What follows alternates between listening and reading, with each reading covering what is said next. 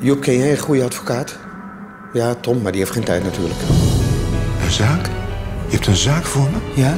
Wat wordt mijn eerste zaak dan weer naar de kliniek? Kliniek? Ik zat een stuk glas in mijn arm te krassen. Jezus, Tom, ik wist het niet. De halve wereld is manisch, Pieter. Ja, achteraf zie ik het aankomen. Maar die zaak? Ik heb een probleem. De gemeente wil alles terug en ik geef het niet terug. Omdat het van mij is. Het is van mij. Eens kijken wat ik kan doen. Geef mij de adressenlijst van die collega en dan stuur ik die verklaring aan ze op. Ik moet de namen van de ambtenaren boven je. Oh, nou, dat klinkt toch wel flink onsmakelijk, zeg. Het is allemaal anders gelopen. Alles loopt voortdurend anders. Ik vergeef het je nooit. Volgens Tom heb ik alles fout gedaan. Wat goed dat je de moed had om weg te gaan. Heb jij een vriendin? Ja. Papa is weggegaan. Waarom? Omdat papa is weggegaan. Daarom. Ik denk echt dat ik hem haat, man. Ben ik een nare man geworden. Ja. Ja. Maar Maarten is toch een veel grotere klootzak dan ik. Waka. Ze is, eh, ze is echt goed. Wie?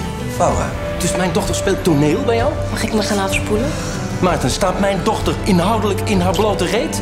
Je zit toch niet aan, hè? Met die vieze regiehanden van je. Niet zo stom. Het is het kind van je vriend, Maarten.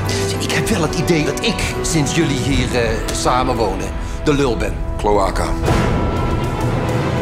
Wij zitten in een soort van vicieuze cirkel van negativiteit. Ik trek me terug. Goed. Ik denk niet dat ik dit wil meemaken.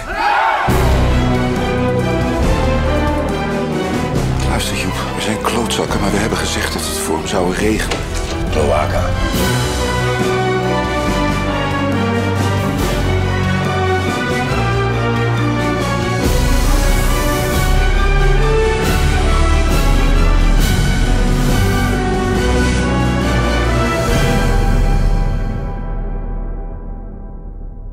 Cloaca.